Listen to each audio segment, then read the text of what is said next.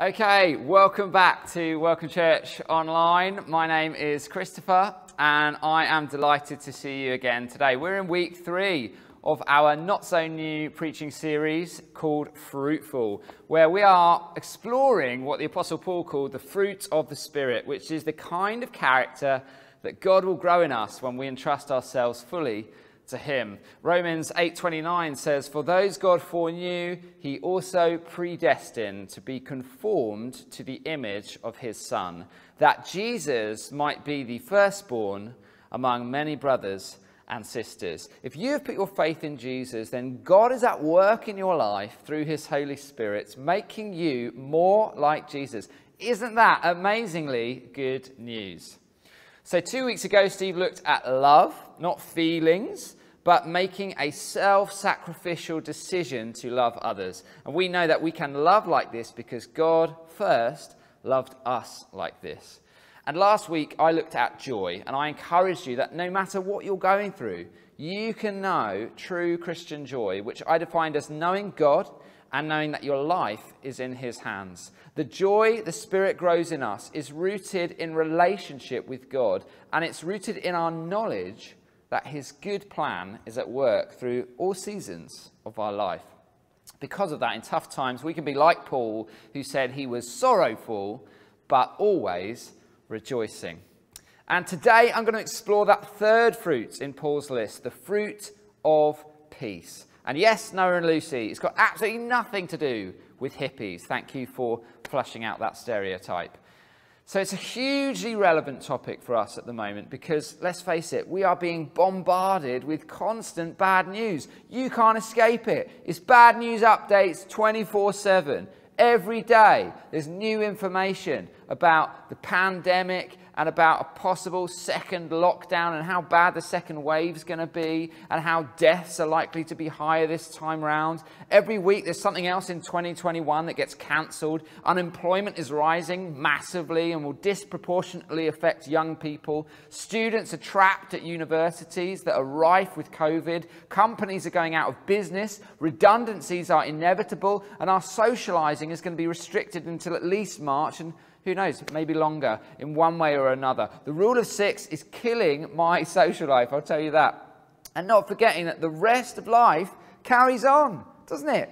Work's difficult, especially if you're an extrovert like me and you recharge around other people.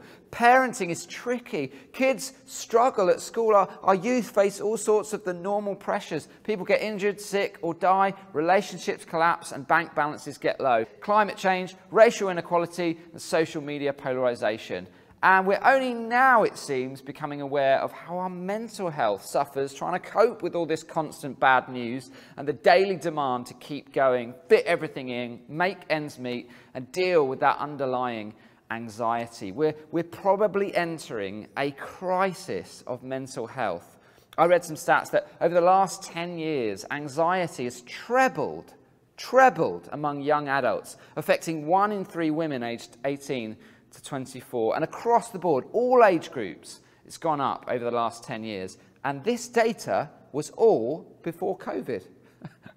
so now, more than ever, more than ever, we need to be people of peace. Uh, and I'm not talking about, you know, um, getting a nice candle, getting a wool knit rug, and maybe putting on a, uh, a CD of Graham Kendrick's greatest hits played on the panpipes.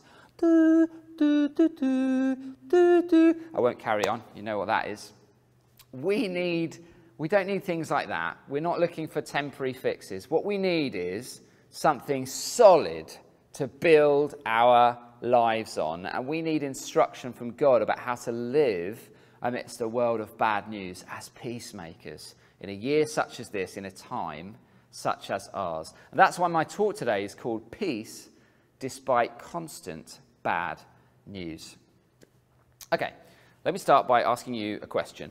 Would you rather be peaceful but unproductive, or productive but without peace?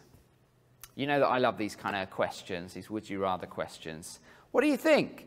More peace but less productive, or uh, really productive but without peace? Some of you are thinking, well, hey, being unproductive does sound very peaceful.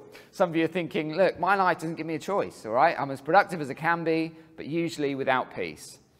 But I'm sure most of us are thinking that we'd like to work out a way that we can kind of have both, right? Here's a few more for you. Would you rather questions? Would you rather be peaceful but poor or prosperous but without peace? What about this one? Would you rather be peaceful but powerless or powerful without peace? Try this one. Would you rather be peaceful but not fulfill your potential? Or fulfill your potential but not be peaceful? Or lastly, would you rather be peaceful but lose your pride? Or maintain your pride but miss out on peace? What am I getting at here? Well, these are value questions, aren't they? What do you value more? We all want peace, but do we want it enough? Okay, let's begin with an obvious question. What does Paul mean by the fruit of peace? Well, we need to go beyond the English definition to the biblical words because I don't know if you know this, but the Bible wasn't actually written in English. Do you know that?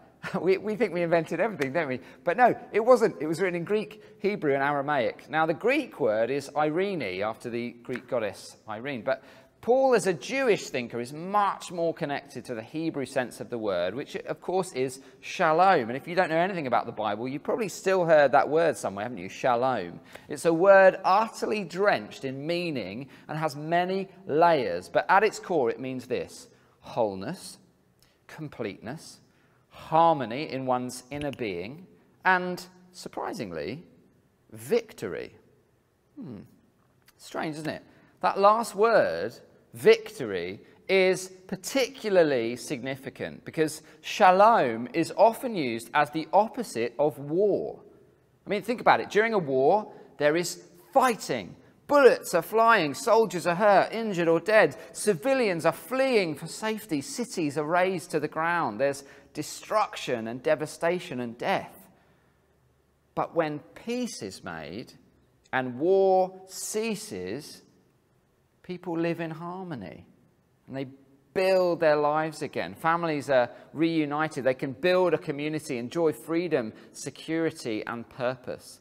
So, true peace is both the absence of war and conflict and the presence of wholeness and right relationships. Now, we all desire peace, but we all desire other things more than peace. And those other things create conflict in our world. Two countries want peace, but they also both want power, and so they go to war. Family members want peace, but they can't face losing their personal pride, and so they remain in conflict. Two lovers want to enjoy peace in their relationship, but both want to fulfill their potential and so they end up separating. We all want peace, but are we willing to compromise on other things in our life to get it? I remember growing up as a boy and seeing on Newsround reports from Northern Ireland where children were sharing about what it was like to live amidst the Troubles, which wrought havoc on Northern Ireland and posed a constant threat to people's lives. Now, this conflict began in the 1960s and a peace agreement wasn't signed until 1998, over 30 years later. The victory of shalom doesn't come cheap because it means compromise, it means forgiveness, and it means surrender. Well, today we're going to explore a passage from the Gospel of Mark that I think speaks into the heart of our search for peace. So, this is early on in Jesus' ministry, but at this point, he's already healed many people, including a paralyzed man. He's healed someone with leprosy. He's cast out demons and proclaimed himself Lord of the Sabbath. And huge crowds are following him around the Jewish countryside to hear him teach. And the 12 disciples have been his first hand witnesses. They've seen it all. So, let's read Mark 4, verse 35. That day, when evening came, he said to his disciples, Let's go over to the other side. Leaving the crowd behind, they took him along, just as he was, in the boat. There were also other boats with him. A furious squall came up, and the waves broke over the boat so that it was nearly swamped. Jesus was in the stern, sleeping on a cushion. The disciples woke him and said, Teacher, don't you care if we drown? He got up, rebuked the wind, and said to the waves, Peace, be still. Then the wind died down and it was completely calm. He said to his disciples, Why are you so afraid? Do you still have no faith? They were terrified and asked each other, Who is this? Even the wind and the waves obey him. It's a captivating story, isn't it? Well, first, I want to ask the question what is this story all about? And what can it teach us about how to find peace despite constant bad news? Well, let's quickly work our way through the story. So it's been a full on day of ministry. Evening is coming. Jesus is tired. And so they get into the boat and off they go. And then the trouble starts as the weather takes a dramatic, violent twist, and very quickly they're in the middle of a furious squall, a storm. Is their fear justified? You bet it is. Imagine growing up in that area. You'd have known people that had died out there in sudden storms. You'd have known people who'd escaped with their lives, but their livelihood got destroyed by the sea. This storm isn't a metaphor, okay? It's real. If it had been me, I would have been panicking. And you can imagine the gradual fear that overtakes the disciples, can't you? As the, as the clouds converge, winds pick up, rain starts lashing against their faces, the waves are getting steeper, water's coming into the boat quicker than they can pail it out. They're panicking. They're in fear for their lives. Their hearts are pounding. Adrenaline is pumping through their veins. They're shouting at each other. And then a mighty wave arcs high in the air and slaps down across the boat, filling it with a dangerous amount of water. And everyone screams. And where is Jesus when you need him? Well, he's chilling, asleep in a storm. He's happily tucked up, catching some Z's in the stern. And so, naturally, the disciples wake him up and shout, What are you doing? Rabbi, don't you care if we drown? So far, from where I'm sitting, nothing is abnormal. The disciples are in a life and death situation. Everything they know about boats, the sea, the laws of nature are telling them that this is bad. But then Jesus does something that is initially bizarre. He, he gets up and he rebukes the wind and says to the waves, Peace, be still. It kind of reminds me of when I was young and I used to speak to the traffic lights from inside our car and pretend to be able to command them to turn green. I'd be like, okay, you're going to go green now. Okay, all right, I'll let you off that one. Go green now. Three, two, one, now. All right, I do still do that. But anyway, that is not what Jesus is doing because what's totally unique about Jesus is that the wind and the waves do what he says. Nature obeys Jesus. The storm was silenced, and I imagine so were the disciples. And then Jesus asked them two questions. And by the way Mark has structured this narrative, it's clear that the dialogue at the end is, is actually of far more significance than the miracle that has come before. Jesus asks the disciples two questions. Questions he's still asking us today. Why are you so afraid? Do you still have no faith? Now, if I was there in that boat, I'd have probably been the one to blurt out, Why was I afraid? Well, I'm not surprised you don't know Jesus. Maybe if you hadn't been asleep the whole time, then you'd have been able to understand a bit better. But that's not Jesus' point. His point is there is a direct link between how you respond to crisis and how you respond to Jesus, which is precisely why Mark ends the event with the disciples asking the question, Who is this? You see, Jesus isn't rebuking the disciples because they got scared. He's rebuking them because despite everything they've witnessed Jesus do, not one of them has an ounce of faith that Jesus might be able to intervene. Jesus rebukes the disciples because their fear of what's outside the boat is far greater than their faith of who's inside the boat. And we can so easily fall into the same error. We fix our eyes on our bank accounts when our provider is in the boat. We worry about the future when the God of time is in our boat. We obsess about all the bad news when the God of good news is in our boat. And we stress about tiny things when God, who made all things, is in our boat. Hear me today. God isn't asking you to live as if there isn't a storm. He's asking you to take your eyes off the storm long enough to remember that the God who made the wind and the waves is with you, is for you, and has promised to never leave you or forsake you. And if there were anyone inside this building right now, I would hope there would be some amens. Don't fix your eyes on the bad news, fix your eyes on the good news of Jesus. This is when we start getting peace over whatever we're facing in life with a faith that is effective in a crisis. You know, maybe Jesus led the disciples into this storm on purpose. Maybe he wanted to reveal to them the reality of their faith. I don't know. Crisis always reveals what's really in us, doesn't it? It reveals if any of those discipleship courses did anything. It reveals where our hearts find their rest and where our identity finds its center. This year may have revealed to you that your faith was not what you claimed it to be. Maybe you've even found yourself asking the same question as the disciples Who is this Jesus? Who is Jesus to you? Is he just a good teacher? Is he just a life coach? Is he a liar? Is he a loony? Is he imaginary? Or is he the Son of God? Who reconciles us to the Father.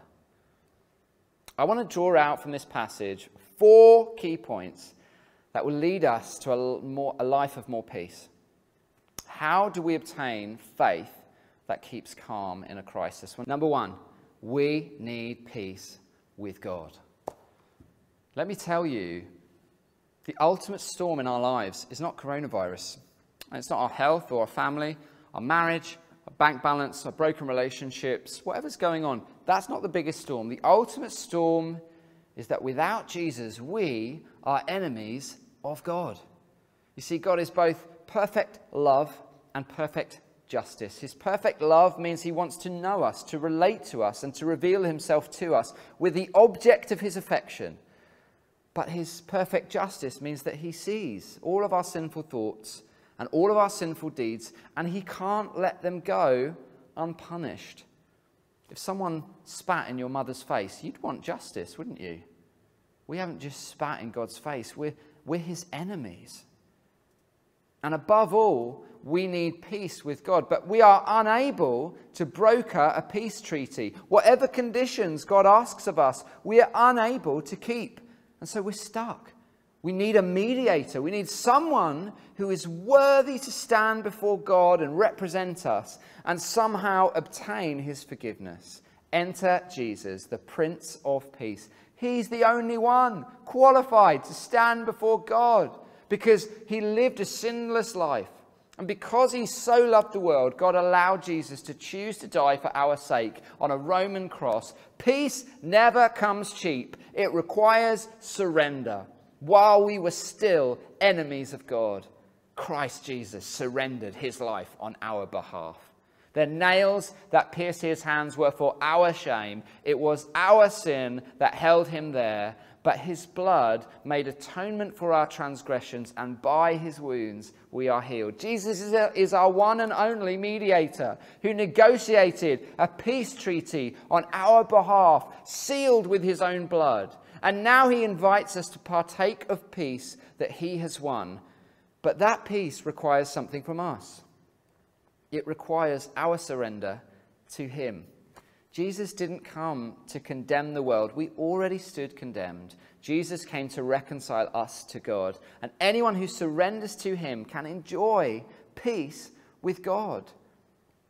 If you have not put your faith in Jesus, as your Lord and Savior, you remain an enemy of God. You're essentially saying, No, Jesus, don't, don't speak to the storm.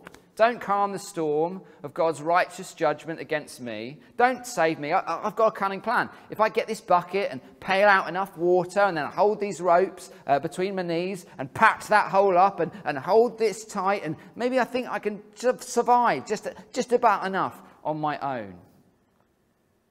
I don't fancy your chances. Why rob yourself of peace? Peace that's not just enjoyed in this life, but is an everlasting peace that stretches into eternity. If you haven't surrendered your life to Jesus, why not do it today? Why not pray out in faith from wherever you are sat watching this this morning? Ask Jesus to forgive your sin and make peace with God on your behalf. If you'd like to pray that prayer, I would like to lead you through it right now. The words are going to appear on the screen, and you can say them with me.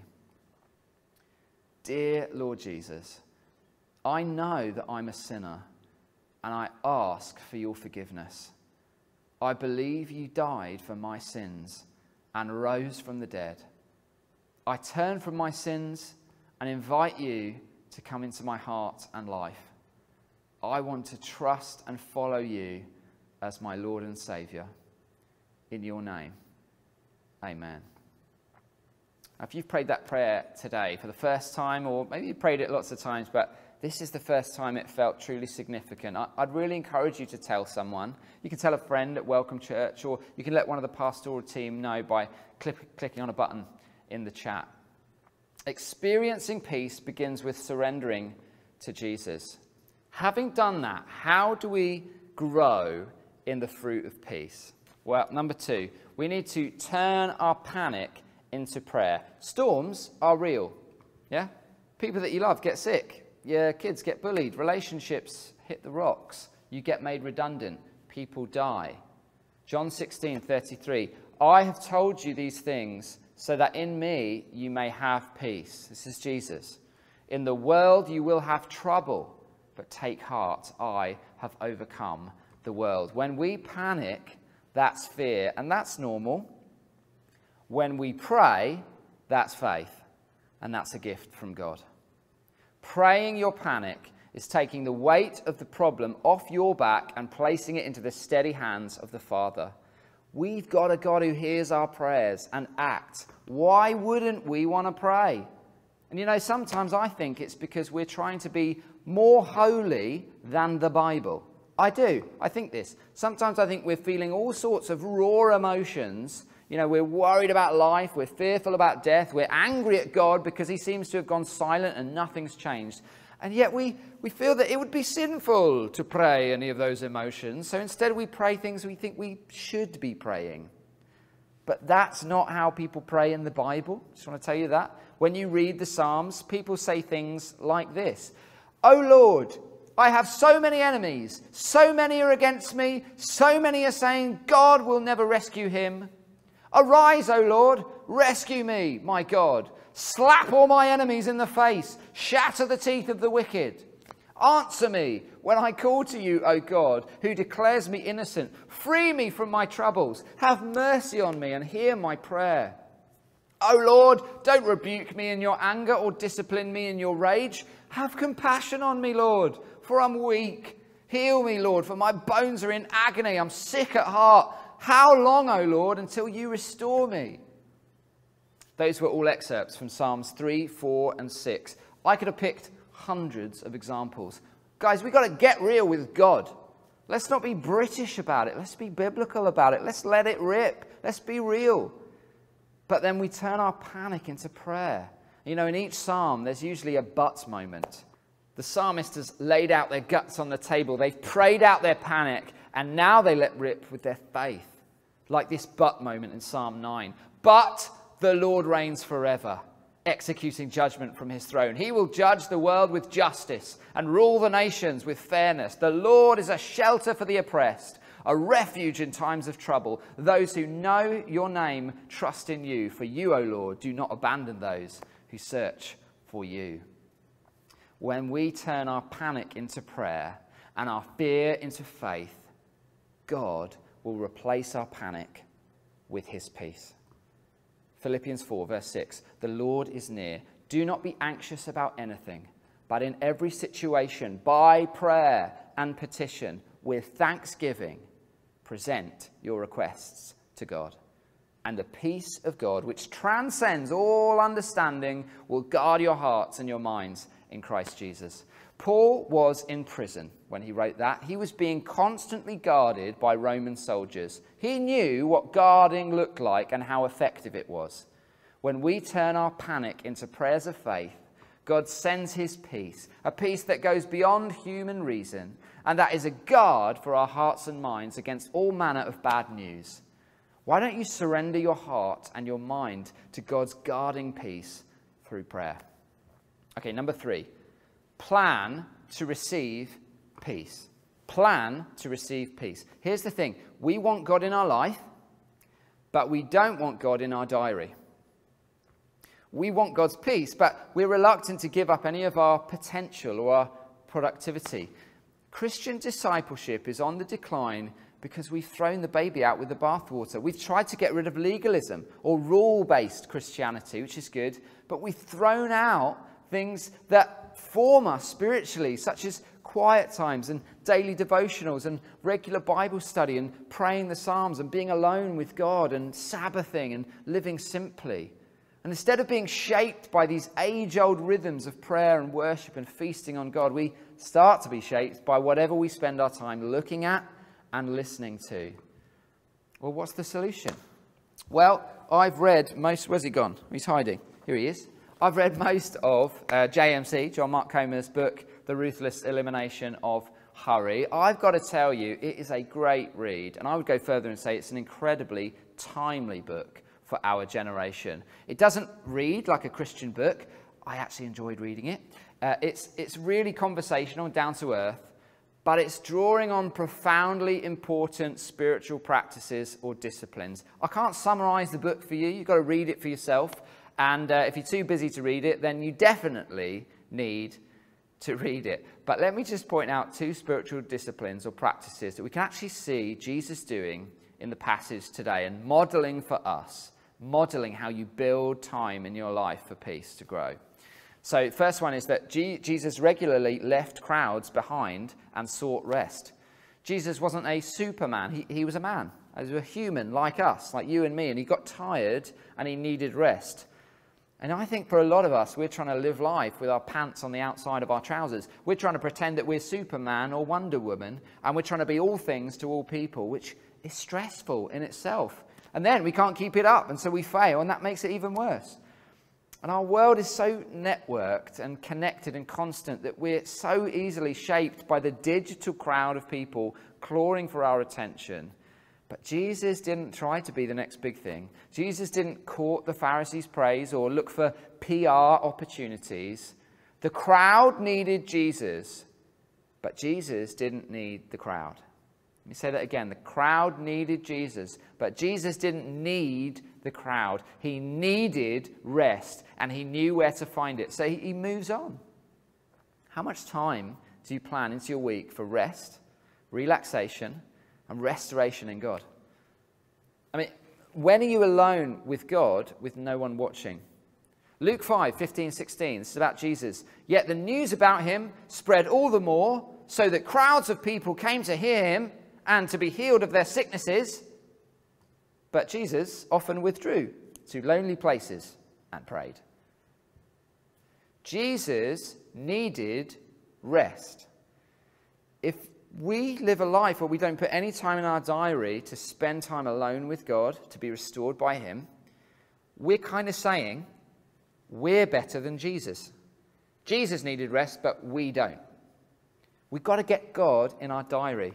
Second practice you can see in the passage. They get in the boat, and Mark gives us this funny little detail about Jesus got in just as he was, i.e., he didn't have any luggage. He didn't pop to the shops to get a neck pillow. He was just as he was, traveling light. Do you notice that about Jesus? He's never in need, but he never has more than he needs. His lifestyle is simple. And I, I, don't want to make too much of this, you know, but Mark does tell this, these things for a reason. He wants us to understand that it's not just about what Jesus said that's important, or, or Mark would have written a book called The Sayings of Jesus. But it's also about how Jesus lived, how God modeled life among us as a fully human human, how he navigated normal life. Now, it would be foolish of us to think that traveling with no luggage is some kind of uh, magic formula for inner peace. But it would be equally foolish of us to think that there was no relationship between the amount of stuff we own and the amount of stress that we carry. The more stuff you have, the nicer the stuff is, the more stress you build into your life trying to protect and maintain it. But we can't escape it. Jesus lived simply. Hear me today. If, if you want more peace in your life, you will need to surrender some of your time, some of your productivity, some of your potential and put God in your diary. Why not read John Mark's book and pick one of the four spiritual practices in his book and try and put it into your diary during the rest of 2020 and see what God does in you? Point number four, last one be the peace in the storm. We can grow our faith by trying actively to be peacemakers. The famous church builder, missionary John Wesley his spiritual journey was deeply impacted when he was on a boat that was in a storm. And a huge wave came over the side of the boat, and everyone started screaming. He was a minister. He, he, was supposed to be someone who had peace, but he was panicked to his core. And but something caught his eye. There were a group of Moravian missionaries over in one side of the boat. Men, women, children, and they were singing and they were praying and they were a picture of peace. John Wesley recounted it in his diaries that just so struck by this picture of peace, these people who just seemed to have something so deep that he didn't have, that meant that when there was a literal storm, they were able to sing and pray and not be afraid. When we embody the peace of Christ, we can be the calm in other people's storm. We can be calm in a crisis. Because Jesus has won forgiveness for our great sin, we can also forgive others when they sin against us. Let me ask you is there someone in your life who you need to make peace with? Sometimes it can be harder to forgive Christians because we expect more from each other, but Paul encourages us especially to make every effort to keep the unity of the Spirit through the bond of peace. What about this though? Romans 12 18. If it is possible, Paul writes, as far as it depends on you, live at peace with everyone. Do not take revenge, my dear friends, but leave room for God's wrath. For it is written, It is mine to avenge, I will repay, says the Lord. On the contrary, if your enemy is hungry, feed him. If he is thirsty, give him something to drink. In doing this, you will heap burning coals on his head. Do not be overcome by evil, but overcome evil with good. Note that Paul says there, as far as it depends on you, as far as it depends on you, we can't make peace with everyone because making peace takes mutual agreement, mutual surrender. It takes two to tango, and sometimes people just don't want to dance. But in that case, you can aim for a ceasefire. But as far as it depends on you, ultimately, we want to be people of peace who bring peace to conflict. It will cost us. We might need to apologize. We might need to be humble and offer some form of reparation. We might need to have to accept wrongdoing. But when we look to make peace, we seek a good thing and a godly thing. And notice also that we're not called to avenge ourselves. And this can be really hard, especially where we feel that we know for sure that we've been wronged. But if we take up the mantle of revenge, we will lose our peace and perpetuate the damage. We're not equipped or qualified to exact revenge, but we do worship a good and perfect judge who one day will judge everyone according to their works. So, this is where we get our gospel out and we put it to action. It can be hard to forgive, but when we focus on what we have been forgiven from, we can use that gospel perspective to see others in a different way and forgive them the lesser debt they have to us. I hope this talk today has inspired you and perhaps highlighted some ways that you can seek the Holy Spirit to grow peace in your character. I'm going to finish by praying the end of the book of Hebrews over us all. Let's pray. This is Hebrews 13. Now may the God of peace, who through the blood of the eternal covenant brought back from the dead our Lord Jesus, that great shepherd of the sheep, may he equip you with everything good for doing his will, and may he work in us what is pleasing to him through Jesus Christ, to whom be glory forever and ever. Amen. God bless you. Dub's going to be here next week talking about patience. I'm going to hand back to Noah and Lucy.